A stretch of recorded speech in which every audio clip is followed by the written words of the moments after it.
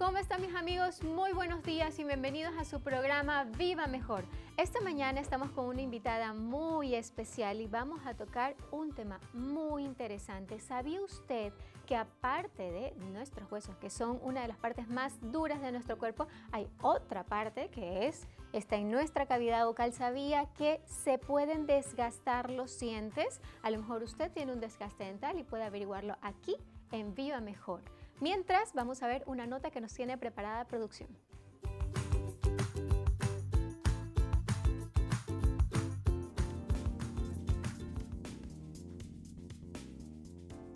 Desgaste dental. En estados iniciales, el desgaste dental supone la pérdida de grosor del esmalte, una capa dura translúcida compuesta de hidroxiapatita que recubre nuestros dientes. Esta capa de 2 a 3 milímetros de grosor tiene una función primordial con respecto a nuestra salud bucodental. Es la encargada de proteger a nuestros dientes frente a estímulos externos. Por este motivo, su daño tiene repercusiones tanto en la estética de tu sonrisa como en la funcionalidad de las piezas afectadas.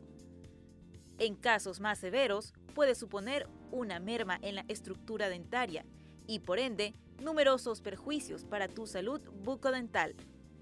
De causa diversa, este daño de la estructura dentaria puede venir motivado principalmente por cuatro puntos. Problemas de oclusión, afección de bruxismo, trastornos alimenticios y técnicas de cepillado inadecuadas. Podemos afirmar que estamos ante un caso de desgaste dental si observamos los siguientes signos. Cuando el grosor del esmalte se ve debilitado, el color de la dentina se muestra con más intensidad. Por este motivo, las personas que sufren desgastes dentales tienden a mostrar unos dientes más amarillos.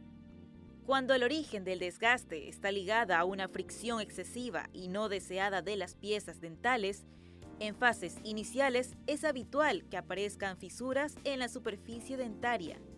En casos más severos, puede producirse fracturas o pérdida de estructura dentaria.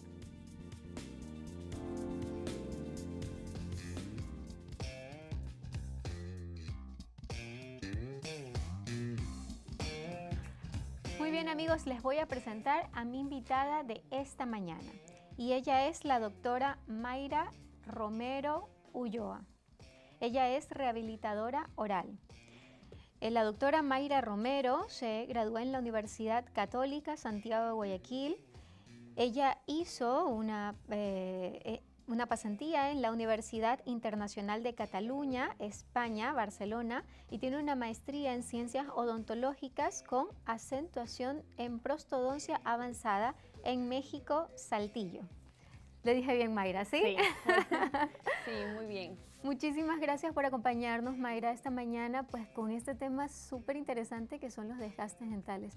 Y como es tan habitual en nosotros que nos encanta hablar de odontología, de, pues, eh, de muchas cosas, de allá afuera, prostodoncia, y bueno, tú nos has traído este, este tema, bueno, de alguna forma, eh, bueno, novedoso para nuestro programa, pero a la vez acabas de llegar de tu, de tu posgrado, ¿es correcto? Es correcto, bueno. Antes que nada agradecer eh, poder compartir en este programa acá. Es para mí eh, de gran satisfacción, puesto regresar después de mi posgrado a mi universidad, a la segunda casa, donde uno se forma no solo como profesional, sino como un gran ser humano, porque adapta valores, los mismos maestros que terminan siendo mentores para nosotros y más que usted fue una de ellas para, para mí, pues y muy agradecida y muy con mucha satisfacción de estar nuevamente acá. Qué bueno. Bueno, pues sí, el tema de la, de la maestría, el de ir a otro país, es una experiencia pues que se la recomendaría. Maravillosa. maravillosa. Uno aprende a valorar tanto más a su familia, a su país y bueno, pues se abre la mente de una manera espectacular. Así es, y sobre todo porque has regresado eh, pues hacer una especialidad que es prostodoncia y estoy seguro de que vamos a poderte sacar el mayor beneficio en nuestro programa, en nuestra ciudad y pues qué bueno, ¿qué te parece si empezamos con este tema que, que nos has traído? ¿Por qué se desgastan los dientes? ¿Por qué se pueden desgastar? Ok, bueno, el tema del desgaste dental es un tema muy complejo, es un tema eh, muy amplio, sin embargo, escogí este tema porque en la práctica clínica me doy cuenta eh, la gran ausencia de conocimiento sobre el desgaste dental. Hay pacientes que que ellos piensan que es normal tener sus dientes pequeños, porque dicen, tengo los dientes pequeños, pero es normal que con el paso del tiempo se desgasten mis dientes. Eh, hay una gran verdad ahí. Eh, es verdad que existe un desgaste fisiológico, con, depende de los años que vamos avanzando. Sin embargo, nosotros los profesionales de, de la salud bucal, en este caso, somos los encargados de realmente diagnosticar si el tipo de desgaste es fisiológico o es un desgaste patológico. Y bueno, lo voy a resumir en, en cuatro tipos, muy sencillo, lo más sencillito porque este tema es muy complejo. y uno de los desgastes es eh, la atrición, se llama. ¿Qué es la atrición? Es el desgaste entre los mismos dientes eh, por fuerzas excesivas puede ser una causa, eh, como una condición que se llama el bruxismo, el cual es un apretamiento de los dientes inconsciente que puede ser en el día o en la noche. Y otra de las causas de la atrición también puede ser eh, una mala mordida. Eh, asimismo, cuando se realizan rehabilitaciones, es decir, eh, un procedimiento odontológico que no tiene la oclusión adecuada y ponemos diente contra un material falso, pues obviamente se puede ocurrir esto. Este es el primer Cuando dices oclusión, es muy importante que sabemos que cuando dices oclusión significa este, mordida. Ah, ya. Es correcto. Entonces, eh, muchas veces se hace un tratamiento pensando por un diente unitario, el reemplazar un diente porque pasó algo con este diente, pero hay muchos factores en boca que pueden ser involucrados y si no se ve el problema general puede causarnos más daño a la larga. Entonces, este es uno de los desgastes pues más comunes. El otro tipo de desgaste llamamos también la erosión. Me gusta mucho este tema de la erosión porque es un tema que eh, lo podemos evitar en una de ah, las causas que son causas extrínsecas como el consumo de muchos cítricos. Ok. Eh, naranja, limón. Eh, si estos hábitos alimenticios podrían causarnos un desgaste dental y a la vez un daño a la salud. Así es. Porque, ¿cuál es la consecuencia de tener una pieza dental desgastada por cítricos? Bueno, pues eh, hay varias etapas. En etapa inicial, pues simplemente eh, vemos una pequeña forma de ahuecamiento en los dientes. Cuando sonreímos y el, paciente piensa que es normal, que así es su diente. Cuando comenzamos a hacer una historia clínica, preguntas más a fondo de qué tanto consume cítricos o hay casos de, deportistas que consumen muchas bebidas energéticas, las cuales ah, contienen ácidos y estos ácidos eh, causan esta erosión. Asimismo, hay... Porque no tiene ningún tipo de dolor, entonces solamente se puede ver. ¿Es correcto? Exacto. El dolor viene en etapa avanzada, cuando realmente el tratamiento ya es invasivo, cuando el tratamiento ya es una rehabilitación total, es decir, todas las piezas dentales hay que ponerlas en tratamiento y el, el punto aquí es de prevenir esto, el prevenir en que hay hay causas que muchas veces se salen de las manos, como reflujo intestinal gástrico, que también puede causar este tipo de, erosión en las piezas dentales. Y, o sea, este, eh, estas personas que están constantemente que con gastritis puede ser, con gastritis y, y tiene estos reflujos y que constantemente tiene que estar tomando medicamentos para su gastritis. Ah. Personas con bulimia también. Ah, ok. Exactamente. Eh, Asimismo, también personas que, tienen poca cantidad de saliva. La ah, saliva nos ayuda a neutralizar toda nuestra cavidad oral. Entonces, al momento de consumir ácidos, la saliva hace que el pH se neutralice. Al tener una disminución de saliva, este ácido va a ser más fuerte en nuestra cavidad y también va a provocar este tipo de desgaste. ¿Esta falta de producción de saliva puede deberse a los años o algún medicamento que tomen o algo así? También es un, es un tema eh, de muchas causas. Pueden ser enfermedades, como también una de las, causas, de las causas es el síndrome de Sjögren.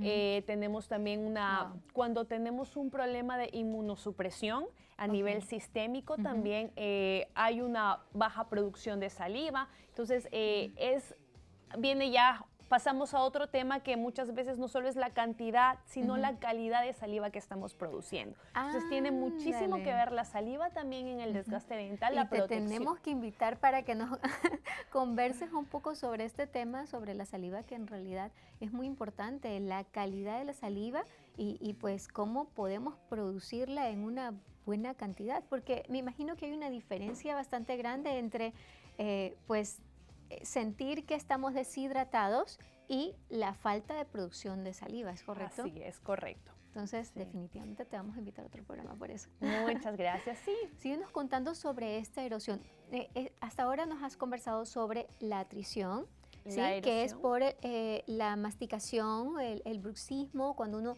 aprieta los dientes, ¿es correcto? Y ahora este, pues estamos en, esta erosión por los cítricos. Nos contaste que habían cuatro, me faltan dos más. Exactamente. otro tema que vamos, eh, otro factor, otro tipo de desgaste dental es la abrasión. Okay. Entonces, eh, es un tema de educación con esto de la abrasión. Muchas veces el paciente asume que por cepillar muy fuerte los dientes su boca va a estar más sana. La abrasión es el desgaste de un objeto externo con, los dientes. Es decir, se puede dar por el cepillado dental, por eh, palillos dentales también el uso, o meter objetos a boca y bueno, tener hábitos, malos hábitos. Perfecto. Eso quiere decir que tenemos que tener mucho cuidado también con nuestro cepillo y el tipo de cerdas que estamos utilizando para cepillarnos, Así ¿correcto? Es. Eh. Muy bien, Mayra. Vamos a seguir conversando porque recuerden que eran cuatro, nos falta uno en el siguiente bloque. Enseguida regresamos con más de Vida Mejor.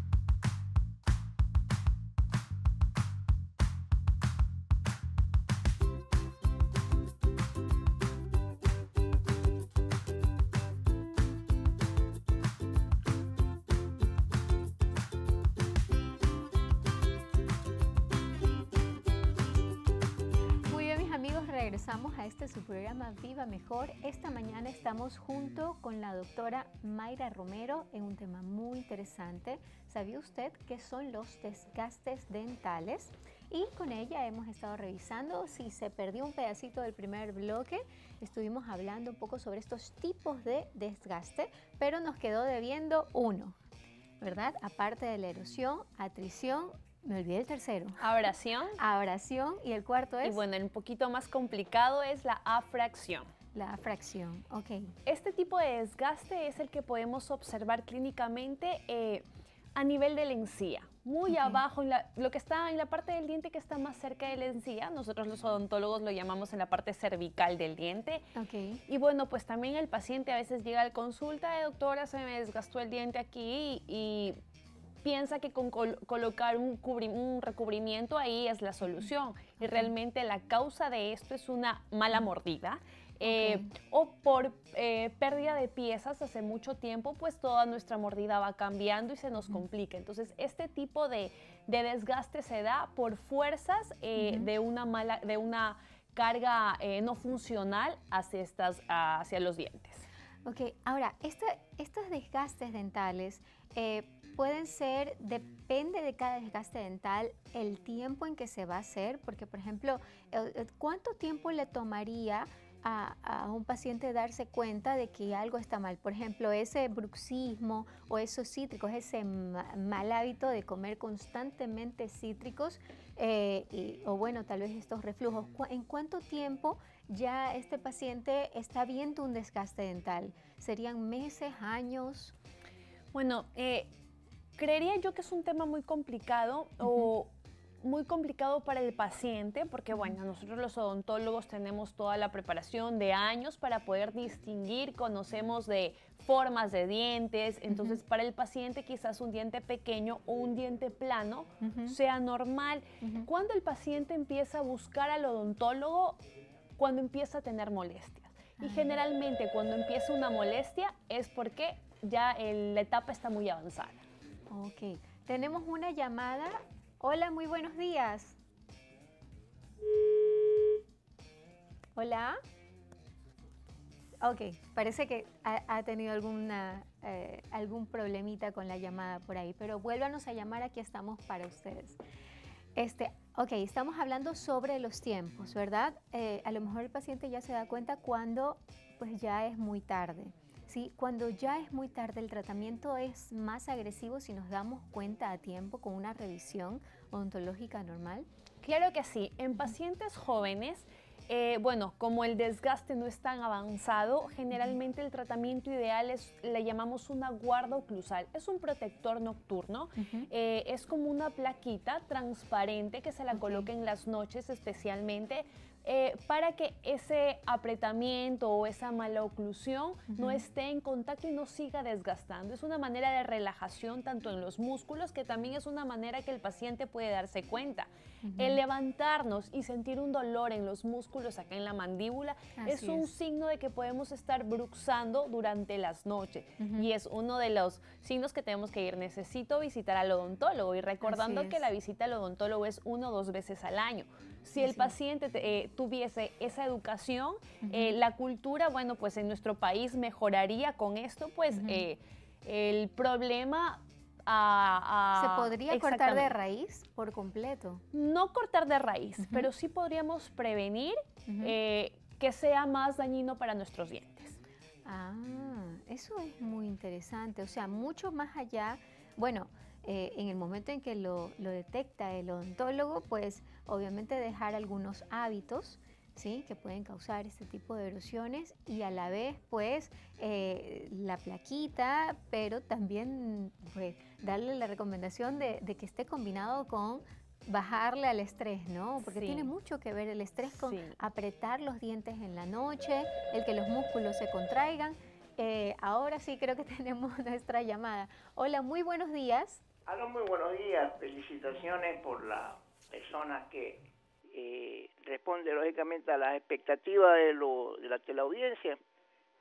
Muchas de las veces existe eh, casos eh, en lo que tiene que ver problemas dentales que cuando uno escucha a la persona que sabe y que nos permite conocer más acerca de lo que conoce, lógicamente pues tenemos que en primer lugar agradecerle por existir la, la mejor de las predisposiciones por parte de quienes hacen el programa para poder invitar a una persona que conoce sobre el particular. La pregunta es la siguiente.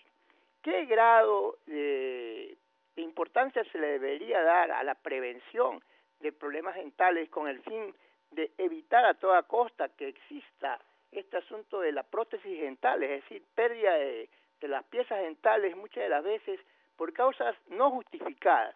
¿De qué manera se puede prever para que las personas puedan tener su dentadura eh, completa sin necesidad de recurrir o acudir a prótesis dentales que lógicamente no es lo mismo que los dientes naturales?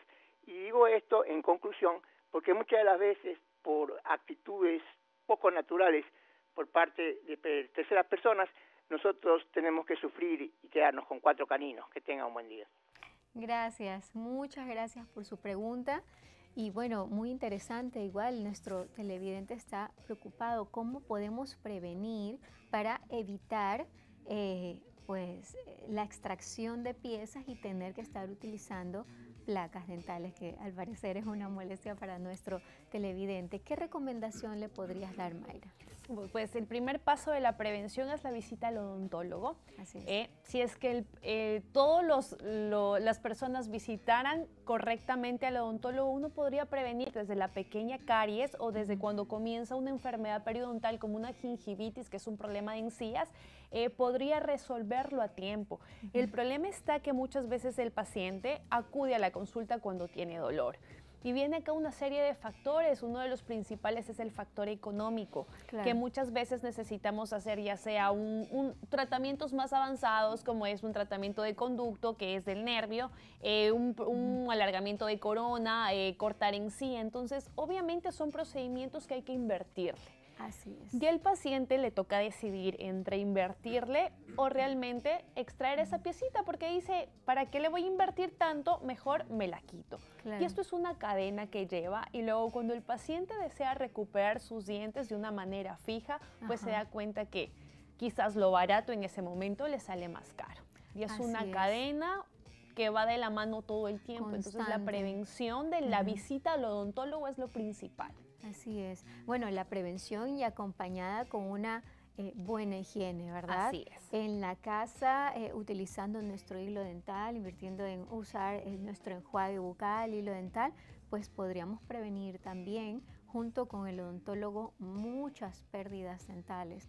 Pues la limpieza en casa y bueno, qué mejor que prevenir y empezar con nuestros, nuestros hijos, nuestros nietos, dándoles este hábito de, ok, tenemos que utilizar el hilo desde chiquitos, desde chiquitos, ayudarlos, ayudarlos usted, si tienen menos de seis años, eh, a cepillar los dientes de su hijo. El hábito de la salud, el hábito de la higiene es lo mejor que usted le puede dar eh, a su familiar o, a usted mismo y así podría evitarse muchas cosas. Así Muy bien, Mayra. Este, continuando con este, este tema tan interesante sobre el desgaste dental, eh, queremos eh, mostrarte algunos mitos que se han recopilado allá afuera, ¿sí?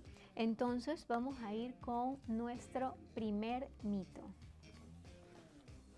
Dice, el blanqueamiento desgasta y deteriora los dientes. Desgasta el esmalte y deteriora los dientes. ¿Qué tal, Mayra? ¿Es, un mito? Es, un mito. El blanqueamiento dental es un procedimiento en el es muy cual famoso el blanqueamiento, ¿no? Es muy popular, es algo que todos queremos hacernos un blanqueamiento y pues sí da miedito. Y es una y hay mucha desinformación sobre esto. Ahora el internet que es una forma de de que no se filtran muchos contenidos, entonces hay un desconocimiento del paciente. ¿Cuándo viene el problema? Cuando está realizado por un profesional no capacitado, bueno, por una persona que no sea profesional realmente. Eh, ahí podría venir una complicación causando una hipersensibilidad, que es un dolor eh, de los dientes que quizás sea irreversible. Sin embargo, si esto se hace con un porcentaje adecuado, con una historia clínica adecuada, no debería por qué existir este tipo de problemas. Y el, blanqueamiento dental funciona eliminando todos los minerales, pero son los pigmentos que nosotros consumimos durante toda la vida, con la Coca-Cola, vino, café. Pero estos poros del diente que se eliminar, donde se eliminaron los minerales va a ser rellenados nuevamente con proteínas de la saliva, se va a, hidratar nuevamente. Entonces, si este procedimiento es controlado, no va a haber ningún inconveniente. Obviamente hay pacientes más sensibles que otros y hay que tener que utilizar técnicas muchas veces diferentes, ya sea eh, un producto de menor porcentaje para poder avanzar, así sea, me tardo un poco más en aclarar un diente, pero hay maneras, hay técnicas para realizar esto, así que mm. es un mito. Perfecto. Mayra, ¿y tú recomendarías este, estos blanqueamientos que podemos encontrar en las farmacias y cosas así? O sea, ¿tú recomendarías más este tipo de tratamientos, este tipo de blanqueamientos para, eh, ah, bueno, ok, es casero, me lo voy a poner, o crees que podría existir algún peligro de desgaste o, lastimar el esmalte eh, con este tipo de, de productos. Claro que sí, yo estoy a favor. Yo creo que estamos en un mundo que la rapidez y lo que tenemos a la mano tenemos que hacerlo todo más rápido. Entonces tenemos que ir avanzando de la mano de la tecnología. No podemos eh, cegarnos o negarnos a algo que funciona. Eh, ¿Qué sucede? Estos tipos de, productos tienen un porcentaje más bajo quizás va a tardar un poquito más, pero si al paciente le funciona, adelante. Ahora, no todos los pacientes blanquean de la misma forma. Quizás ah, un paciente utiliza ese producto y le funcionó, increíble, pero llega otro paciente que no blanqueó con ese, con ese porcentaje. Entonces, si no blanquea, sí tendrá que realizarse un blanqueamiento con un porcentaje mayor, pues para conseguir resultados más óptimos. Eh, lo que no estoy de acuerdo es de, utilizar productos abrasivos, como el bicarbonato. Ah, eso es muy común. El problema del bicarbonato está en que este polvo causa abrasión porque estamos teniendo un contacto con un objeto externo en nuestros dientes. Y sí, blanquea, pule un poquito, sin embargo, sí puede, a, un no controlado, un uso no controlado puede causar daño a los dientes. Ah, ok. A la larga, eh, si esta persona empieza a sentir esta sensibilidad, ¿verdad? Este, este malestar al frío, pues debería de suspenderlo. En realidad creo que es muy riesgoso utilizarlo. Okay. Eh, podría ser qué sé yo, se me ocurre una vez a la semana, pero utilizar estas pastas abrasivas y sobre todo esto que es un polvo, sí lo considero muy riesgoso porque es muy subjetivo el decir estoy utilizándolo poco o estoy utilizándolo mucho. Es muy subjetivo para poder controlarlo. Perfecto, la recomendación, por favor, no lo utilice. Muy bien, y con esta recomendación, mis queridos amigos, nos vamos a ir a un corte, pero enseguida regresamos con mucho más. Te digo mejor.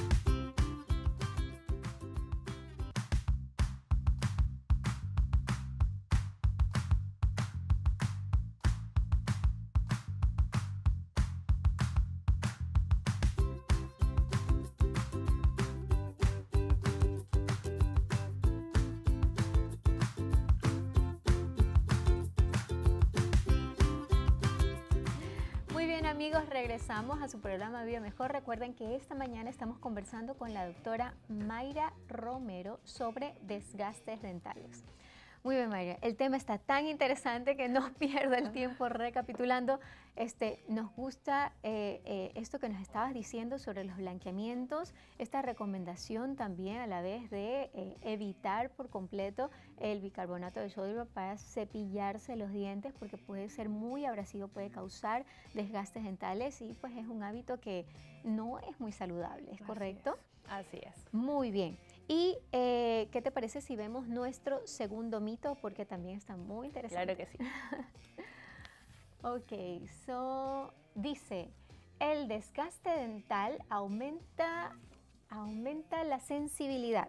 Sería, ¿qué te parece eso? Eso, eso es correcto. Una persona cuando está con desgaste dental le empieza a sentir eh, eh, que los dientes eh, tienen mucho frío, por decirlo de esa forma, o que no puede comer cosas calientes. Es verdad en etapa avanzada. Ok. En etapa temprana, el diente tiene eh, dos capas de dos capas, uno es el esmalte, otra es la dentina. Entonces, cuando hay un desgaste de esmalte, pues la sensibilidad es muy es nula. Cuando este desgaste empieza a llegar a la segunda capa, que es la dentina, comienza a haber este tipo de sensibilidad, pero hablar de que el desgaste llegó a dentina, tenemos ya una, un desgaste en etapa avanzada. Entonces, es verdad, pero ya ah. aquí estamos en una etapa mayor. Eso quiere decir que, eh, pues, detectada a tiempo, no necesariamente vamos a llegar a algo tan agresivo como lo que estábamos eh, conversando. Ahora, eh, hay un momento, tú estabas hablando de que hay dos capas antes, el esmalte y la dentina. Eh, ¿Qué les recomendarías a nuestros televidentes? revisarse para ver si ya está... ¿Hay alguna forma de diferenciar que ya se ha perdido la primera capa o no? Sí hay una forma de diferenciar. Eh, el esmalte es traslúcido, la dentina ya tiene un color amarillento. Entonces, ya eh, cuando vean este color amarillento, ya empieza a ser un poco más preocupante. Sí, y otra forma que también lo podemos detectar es de que todos nuestros dientes eh, tienen, se llaman cúspides, tienen hendiduras, podemos llamar. Entonces, si comenzamos a ver que el diente se está tornando de una manera plana, eh, puede ser ya una causa de que estamos teniendo desgaste. Y la otra son los signos, que puede ser el bruxismo, el apretamiento de los dientes, eh, que comenzamos a sentir molestias, eh, dolores de cabeza, tensión al momento de levantarnos, como que si hubiéramos estado masticando todo el tiempo. Entonces, entonces son signos que nos podrían dar son alarmas, ¿no? Algo está pasando, deberías de chequearte pues esas son alarmas muy interesantes que podríamos prevenir muchas cosas mucho más groseras, tratamientos más grotescos. Este, ahora, Mayra, tú nos has traído eh, al programa unos casos clínicos eh, de tu consultorio que, que, están también bastante interesantes y que sé que les has cambiado la vida a tus pacientes, ¿verdad? Sí, hay algunos casos, detallitos de desgastes leves como desgastes pues ya avanzados y cómo esto podría repercutir en las personas y a qué nivel podemos llegar, porque son casos reales. Así es. Eso de a qué nivel podemos llegar es, muy interesante porque a veces eh, eh, nuestros pacientes eh, podrían pensar que, le, dicen, bueno, me va a cambiar la vida, me va a cambiar, pero solo quiero que me cambie este diente. Sí, es correcto. Este tiene un desgaste y solamente cambia el este. Y a la vez también podría tener algún problema de salud. O sea, el la parte operatoria, la parte del tratamiento de un profesional, de un protecista, no, puede, no debería estar sujeto a solo la estética, ¿verdad? Debería siempre estar sujeto, eh, rebuscar más allá esta etapa de, una buena salud y después la parte estética. No, y hoy en día hablamos eh, la parte estética y funcional como un solo término. Ah, muy bien. Tenemos materiales altamente resistentes y estéticos que no podemos dejar o decir te dejo funcionalmente, pero no vas a estar estético. No, ya podemos hablar de un solo término. Asimismo, eh, como profesionales no nos podemos arriesgar a hacer algo estético teniendo los conocimientos que su, mordida no está bien, mi tratamiento estético va a fracasar a corto tiempo. Entonces, el éxito de un tratamiento dental hoy en día es la longevidad, es qué tiempo me va a durar eh, que pase el mayor tiempo en boca sin sufrir repercusiones. Ese es el éxito hoy en día de un tratamiento odontológico. Creo que esa sería la primera pregunta que te hace un paciente, ¿no? ¿Cuánto me va a durar lo que, lo que me va a poner? Y bueno, eso también depende de los cuidados, de los chequeos y pues eh, de los hábitos, ¿no? Así es. Hay, hay hay literatura, hay promedios de tiempo, eh, sin embargo, pues nosotros los profesionales no podemos, porque la pregunta del paciente es, bueno, y si usted me dice que esto me dura 15 años, ¿usted me va a garantizar 15 años? Así es. Pues es muy complicado porque... Eh, dependen de muchas cosas del pH salival, del cuidado, qué tanto va a venir a mí, porque si él cumple realmente eh, sus revisiones cada seis meses y yo veo que algo está ocurriendo, pues lo puedo solucionar y esto no va a causar ningún daño. Entonces, interviene no va a pasar a mayores. Exactamente. Perfecto. ¿Qué les parece si vemos eh, las, los casos clínicos que nos trajo la doctora para, me encantaría eh, que nos comentes. A ver, cuéntanos, este es uno de tus pacientes, ¿correcto? Así es, este es un desgaste a nivel incisal de las piezas centrales y bueno, se restauraron con, con, carillitas. Esta es una rehabilitación completa. Eh, el antes del tratamiento creo que está en la siguiente foto, pero este es el después. Esta es una rehabilitación, este es el antes del paciente. Wow, este así llegó tu paciente con algunos problemas. Ahí Erosión, abrasión, abfracción. Yo, veo, la fístula ya También. soy endoncista. claro que sí. Sí, algunos problemas de salud en realidad. Eh, eh, ese es el antes también, ¿no? Exactamente. y ahí podemos observar eh, en, la, en, las caras de los dientes, pues, esta coloración amarilla. Así es. Ya ahí ya está adentina, ¿verdad? Exactamente. en las partes también eh, de atrás de los dientes eh, anteriores, pues, se ve ahuecamientos. ahí está. Sí. Ah, ok. Y ahí están también, al parecer, unas resinas. Mal adaptadas, así es. Oh. Podemos observar también ahí, en el metal hay un desgaste. Este paciente es bruxista de una manera increíble que hasta desgastó el metal de una corona que teníamos. Eh, no me imagino todo lo que tuviste que poner ahí para que se puedan quedar en boca, o sea... Lo hice netamente adhesivo, fue un tratamiento de cerámicas eh, y bueno, lo más particular en este caso es que solo necesitó, necesitó dos tratamientos de conducta. Ah, fantástico. Sí. Este es el después. Así es. Cambiaste absolutamente todo, cada pieza. Ya no, ya no se podía, no se podía tratar como pieza individual, se tenía que hacer una rehabilitación total. Claro, claro que sí. Y sobre todo allí, ¿cómo evitas que el paciente sí te desgaste lo que acabas de colocar. Con un aguardo oclusal, con un protector nocturno. Bueno, en este tipo de pacientes se tiene que realizar, este también es el después de la coronita metálica Ah, que la estaba ahí. coronita metálica, es. Exactamente, sí es una rehabilitación completa y bueno, pues es un paciente que se lo tiene que educar, tiene que acudir cada tres meses para ver puntos de contacto, es decir, que su mordida esté estable todo el tiempo Ok. y controlar pues sus niveles de ansiedad, hay interconsultas con psicólogo porque es un paciente también con mucho estrés. ¿Y él? Ese ¿Él es el es? paciente final. Ay, fantástico, pero si hasta la sonrisa le cambió por completo. Hasta parece más feliz. Sí, los A ojitos brillan. Le, le quitaste por completo toda la molestia. Este es otro paciente. Ese es un desgaste por atrición. Ah, ok. Eh, podemos observar las facetas de desgaste eh, porque los dientes están chocando, tiene una mala mordida. Ah, ok. ¿Allí también se debería resolver con ortodoncia o...? Lo Sí. ideal sería resolverlo por ortodoncia, pero este paciente por condiciones económicas pues decidimos manejarlo con guarda. Pues ahí también tenemos desgastes por ausencia de piezas dentales. No era un paciente bruxista, eh, se, se llevó pues eh, una historia clínica, un seguimiento, nos dimos cuenta que en sí no era un paciente bruxista, pero tiene, tenía tres piezas dentales en contacto realmente y pues estaba haciendo toda la carga estas piezas. Es normal el desgaste que, Ah, ok. que se pueda causar, pues porque no está estable la mordida. Cuando hablas de carga es que el paciente estaba mordiendo solo con esos dientes. Exactamente. Ah, ok, eso, eso es importante. Bueno, ahí, ahí, estamos, ahí estamos repitiendo ese antes y después. Ahí lo que hiciste fue restaurar estos bordecitos. Eh, hice ¿Verdad? carillas porque hice también planeé la parte aquí. estética, sí hicimos Ajá. alargamientos de corona, es decir, cortamos encía y pues para la parte de los, del bordecito que se desgastó, eh, se realizaron también aumento de esos bordes, pues sí, colocamos una carilla. Ah, Dos perfecto. carillitas. Bueno, pues ahí se, se ve el cambio espectacular.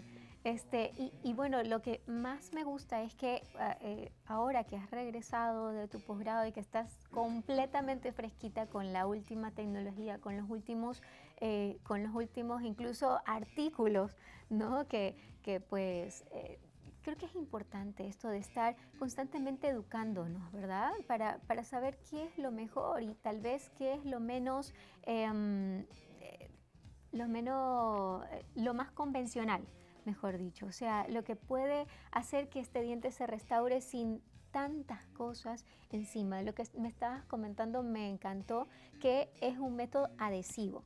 Esto es lo que se está usando ahora, el no metal y, y tratar de ser adhesivos. ¿Por qué? Así es. eh, la odontología ha cambiado mucho. Hay un cambio totalmente revolucionario desde cómo se pensaba antes que el metal era lo mejor. ¿Por qué? Porque al tener más fuerza protegía más al diente. Y ahora pues lo comparo un poco con los carros. Antes que pensaban que mientras un carro era más fuerte, era de un material eh, más duro, pues eh, la persona iba a estar más segura. Cuando era lo Así contrario, es. el impacto era más fuerte. Es lo mismo que ocurre con los dientes. Ah, perfecto, perfecto. Muchísimas gracias. Mayra, eh, ya vamos a regresar con ustedes porque tenemos que hacer una pausa y regresamos con más de Vida Mejor.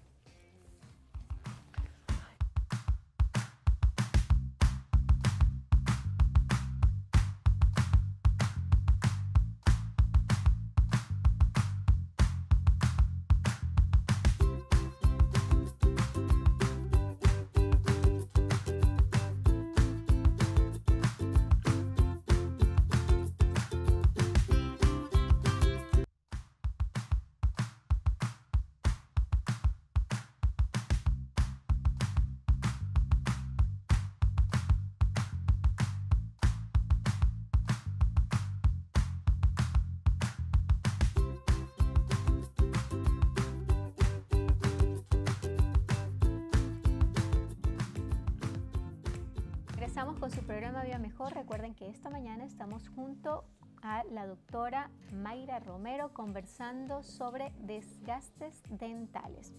Y bueno, Mayra, para no alargarnos más, eh, ¿qué sucede con el tratamiento de los desgastes dentales? ¿Hay un tratamiento específico o hay algunos pasos a seguir para llegar a un tratamiento óptimo?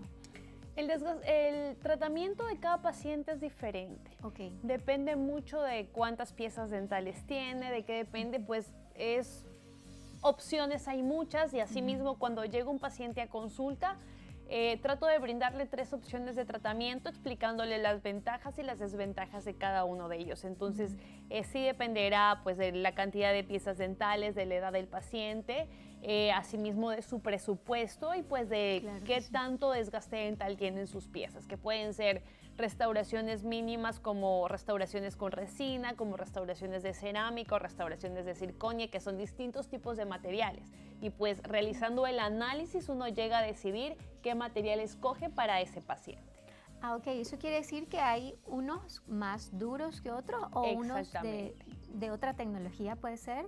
¿Cuál es la diferencia entre este, estos dos tipos?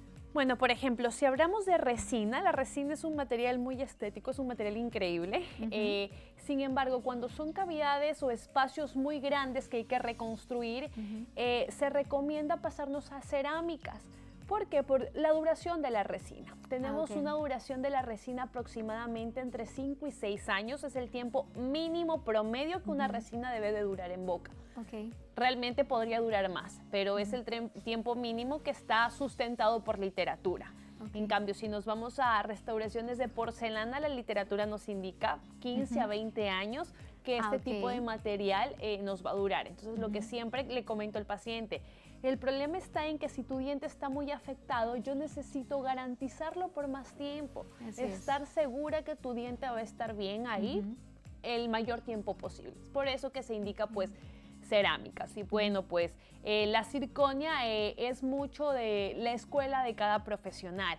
Ah, Sin embargo, eh, hay hay restauraciones que no podemos hacerlas netamente cerámicas. Cuando hay piezas ausentes y son restauraciones muy largas, son como que un bloque muy largo, pues nos toca usar un material eh, de mayor dureza, en este caso es la circonia. Ah, entonces tiene que ver mucho con eh, la ausencia de los dientes. Y bueno, también, eh, ¿ya no se coloca metal o se sigue colocando metal? No podemos eh, descartar o no podemos, necesitamos, yo considero que necesitamos, siempre debemos de valorar. Nosotros, eh, todo este avance de la tecnología, de la odontología, viene de la parte convencional. Y la parte convencional son los metales. Ah. ¿Cuál es el punto hoy? Pero de, de, esas preparaciones, de esos conocimientos, esto ha ido avanzando. Entonces todo tiene una lógica y todo tiene eh, atrás de ello un estudio. Hoy en día pues eh, tenemos más la estética, todo libre de metal, no porque nos cause daño el metal. Ok. Más es, muy eh, interesante. es por un tema de presencia, por un tema de que ahora pues el cabello bonito, la sonrisa bonita, el maquillaje, nadie quiere tener amalgamas en boca, no quiere tener metales en boca. Sin embargo, esto para mí, tener un metal en boca no hace daño. Pues ya viene otro tema en cuestión de las amalgamas, es un tema eh, complejo, es un tema diferente, pero en cuestión de coronas o las fundas que le llaman los pacientes, no es que está haciendo daño en boca. Ah, ya, no es que está haciendo, simplemente es una elección Así de cada paciente y no necesariamente tendríamos que colocarlo en un paciente que está apretando los dientes, por ejemplo. Sí podría aguantar una cerámica o una cirugía, claro. ¿no? ¿Qué sucede? Es, muy, es una cosa súper amplia el tema de la prostodoncia, el tema de materiales dentales un detalle muy así de, eh, como para analizarlo lógicamente. En pacientes bruxistas a veces remiten y dicen, no es que este paciente tiene que ir con coronas metal porcelana. ¿Por qué no puede ser cerámica? Porque el metal pues eh, tiene mayor grosor, mayor resistencia y es un paciente bruxista. Pero ¿qué sucede? Encima de este metal colocan un tipo de porcelana que es menos resistente que la porcelana que lo usamos totalmente prensada, o sea que la, utilizamos sin, metal. Sin metal. Eh, si hablo un poquito de números, esta porcelana que se llama feldespática tiene aproximadamente 130 megapascales de fuerza. Ok. Y mi porcelana que se llama isilicato de litio tiene 400 megapascales aproximadamente de fuerza. Es mucho más fuerte que si la combinamos con un metal. Exactamente, entonces es o vamos a poner restauraciones totalmente metálicas, o sea, completas para decir que realmente estoy eh, ayudando o dando alguna ventaja a este tipo de restauración. Si no, la, no tengo ninguna ventaja al lado de una cerámica de silicato de litio que hoy en día la manejamos. Qué interesante. Bueno, y es que en realidad cada paciente, cada eh, tratamiento y cada historia es completamente diferente y, es fantástico de alguna u otra forma tener esta, este abanico ¿no? de posibilidades junto con la tecnología. Mayra, cuéntanos en dónde te podemos... Ah, tenemos una consulta en redes, perdón. que sí. A ver, dice, tengo 26 años, siempre me estoy haciendo blanqueamiento, blanqueamiento de mis dientes. ¿Existe algún riesgo de sufrir un desgaste dental? 26 años. Ok, tiene 26 años. Eh, realmente el riesgo de sufrir un desgaste dental es bajo. ¿Cuál es el riesgo? Nuestro diente cuando se siente afectado por alguna agresión y el hecho de aplicar blanqueamiento tan seguido, el diente puede comportarse de que me están lastimando, porque ya no es una vez, qué sé yo, cada dos años. Es tan frecuente que el diente puede tomar este producto como una agresión. ¿Qué sucede? Comienza a formarse dentina esclerótica. La dentina esclerótica es, es la segunda capa del diente, la capa eh, media se podría decir, porque adentro ya está el nervio, eh, y comienza a protegerse haciéndose más dura, diciendo, no me dañes, me voy a hacer más fuerte, me voy a hacer más resistente y puede tender a cambiar la coloración hacerse más amarilla. Entonces, ¿qué sucede? El blanqueamiento llega a la capa más externa que es el esmalte. Así es. Si tenemos un vidrio transparente, pero mi pared ya está amarillita, no va, llega, llegará un punto que no voy a blanquear. porque esta pared, que es la dentina, cambió de coloración porque se quiere proteger. Entonces, ¿qué necesitamos? Cuidarnos en bebidas, de bebidas con colorantes, protegernos y cambiar nuestra alimentación para que el blanqueamiento que tiene dure más. o sea, si queremos una sonrisa blanca, en lugar de estarnos colocando el blanqueamiento constantemente, pues debería de cambiar el hábito. Exactamente, bajar el consumo de, gaseosas, de café, de colorantes. Mm. Entonces sí, sí tiene que ver mucho el cuidado atrás de esto. Ahora, ¿es un mito o es verdad eso de que no deberíamos de consumir salsa de tomate, que es un caroteno, porque eso este, hace que podría eh, pigmentar los dientes? Bueno, ¿qué sucede? Eh, la salsa de tomate tiene colorante en realidad, entonces sí podría eh, mancharnos los dientes, sin embargo, depende mucho de la capacidad del diente que tenga absorber minerales. Hay dientes que ah, absorben muy pocos minerales, hay dientes que absorben más. Entonces no podemos ponerlo como una regla general. Sin mm. embargo, ¿qué recomiendo al paciente? Si comes, cepíllate los dientes enseguida. Ah, Obviamente con un cepillo no de cerdas duras sino de cerdas medias o cerdas suaves y con un hábito normal. Eh, la limpieza no es mejor mientras más fuerte la hacemos, sino la técnica que utilicemos. Y brindar pues la técnica correcta al paciente, uso de hilo dental y bueno, pues ir evitando y, y si lo consumimos, enjuagar rápido boca. Así es. Y bueno, con respecto a, este tratamiento ¿no? que, nos has eh, definitivamente informado muchísimo sobre eh, qué son los desgastes dentales y, este tipo de tratamientos, cuándo son eh, más agresivos, cuando no. Ha llegado un momento en el que el paciente diga, mire, tengo un desgaste dental, pero no quiero que le haga nada. ¿Te ha pasado? Por supuesto, por supuesto me dice, pero es que viene acá mucho de qué quiere el paciente. Okay. Y si el paciente tiene un desgaste dental y su tratamiento, bueno, no debe ser uno, porque si hay desgaste ya deben de haber algunas piezas afectadas. Si el paciente me dice, yo no quiero que me ponga nada en boca, eh, no me duele, no me molesta, no me incomoda mi sonrisa, ok. Ocúpese del que está acá, que este sin... ¿Y, ¿Y cuál duele? ¿Hay alguna caries? Curiosa caries, hago firmar un consentimiento informado, se lleva una copia, pues absolutamente que todo esté detallado lo que podría pasar y la prevención que sería su guarda o protector nocturno. Fantástico. Y con todas estas recomendaciones, Mayra, ¿en dónde te podemos encontrar? Cuéntanos. actualmente estoy aquí en la ciudad de Guayaquil, en Kennedy Norte. Eh, la dirección es Justino Cornejo y Miguel H. Alcíbar en el edificio Kennedy Town Center. Perfecto. Ahí está un, un videito de tu consultorio, fantástico. Claro que Muy sí. bien. Pues sí, lo más importante creo que en una consulta es de ponerse en los pies del paciente. Eh, no comparto, a veces nosotros podemos hablar de números, porque la odontología es, es eh, tenemos que invertirle mucho dinero muchas de las veces. Así es. Entonces, podemos dividirle en etapas, podemos eh, planear un tratamiento eh, preventivo e ir poco a poco. Entonces, sí es de llegar a un acuerdo con el paciente para que él esté tranquilo y ver lo mejor para él.